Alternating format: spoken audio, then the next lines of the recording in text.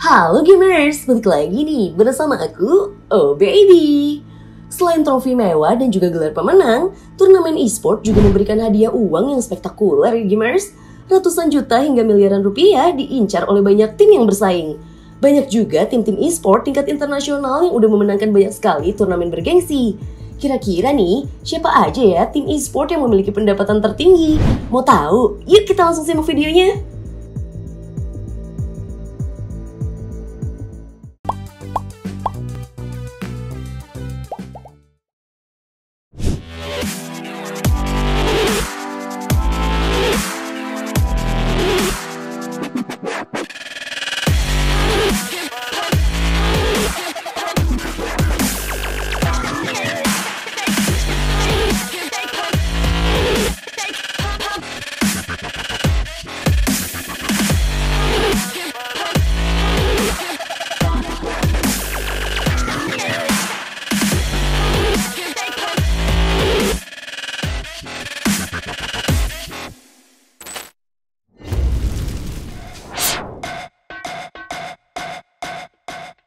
Masuk ke tim yang pertama adalah Tim Secret.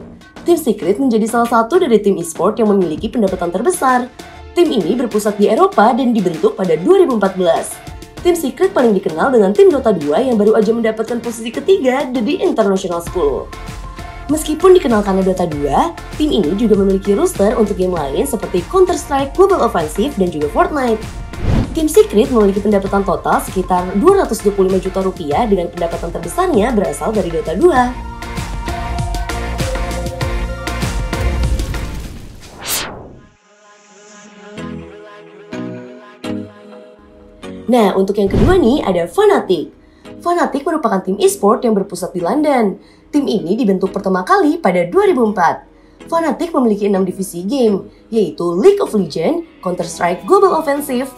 Rainbow Six Siege, Valorant, Dota 2, dan juga FIFA. Tim ini juga memiliki divisi Fnatic Creators yang berisikan talent yang bekerja sama langsung dengan tim Fnatic.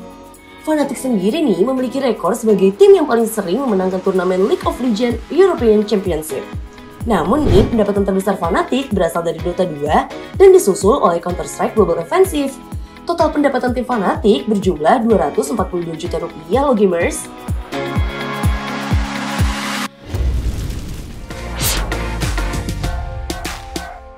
Nah, masuk yang ketiga nih ada Virtus Pro. Virtus Pro merupakan tim e-sport yang berasal dari Rusia. Tim ini sendiri pertama kali dibentuk pada tahun 2003 ya gamers.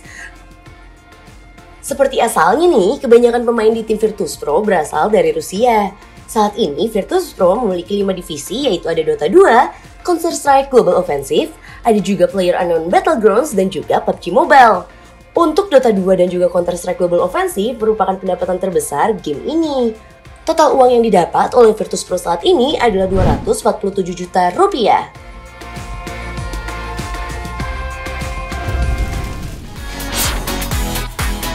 Nah, untuk di tim yang keempat nih ada Team Spirit. Team Spirit baru saja berhasil menjuarai turnamen Dota 2 paling bergengsi yaitu The International. Tim ini tergolong sebagai tim baru karena berdiri pada 2015. Saat ini, Team Spirit memiliki tiga divisi yaitu Counter-Strike Global Offensive, Dota 2, dan juga Hearthstone. Dari prize pool 564 juta rupiah, tim ini berhasil mendapatkan hadiah 265 juta rupiah dari The International 10. Selain Dota 2 nih, pendapatan tim ini disusul oleh Counter-Strike Global Offensive dengan total 10 juta rupiah. Saat ini, Team Spirit memiliki total pendapatan sebesar 279 juta rupiah.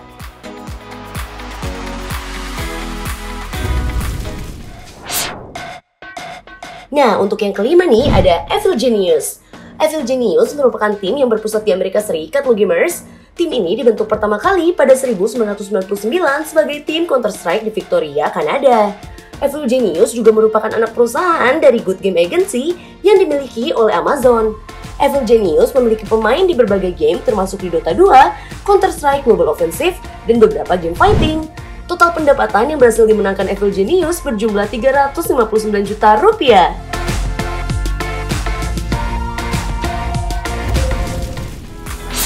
Nah, untuk di yang keenam nih, ada OG. OG merupakan tim e-sport yang dibentuk pada 2015. Tim ini dikenal karena tim Dota 2 yang berhasil memenangkan di internasional dua kali berturut-turut.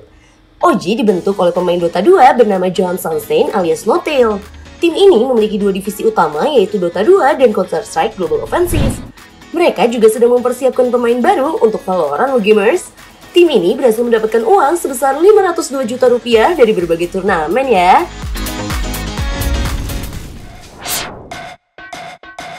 Nah, untuk yang terakhir ada tim Liquid. Tim Liquid merupakan tim e-sport dengan total pendapatan tertinggi. Tim ini berawal dari sebuah klan di StarCraft yang dibentuk oleh Victor Gusens alias Nazgul pada tahun 2000. Tim Liquid resmi menjadi tim e-sport profesional pertama kali untuk game StarCraft 2. Dota 2 menjadi game penghasil uang mereka. Lebih dari setengah total pendapatan tim Liquid berasal dari game yang satu ini lo gamers. Saat ini tim Liquid telah mendapatkan uang sejumlah 531 juta rupiah. Nah, itulah dia ya 7 tim e-sport yang memiliki pendapatan tertinggi di dunia. Sayang ya gamers, salah satu tim Indonesia belum ada di list nih. Tapi semoga dapat cepat menyusul ya. Segitu dulu untuk dunia games kali ini. Oh baby mau ngingetin nih sama kalian. Untuk jangan lupa pencet tombol like, share, dan juga subscribe ke channel YouTube Dunia Games. Kalau gitu, OB pamit dulu. Sampai jumpa lagi video berikutnya ya. Ciao!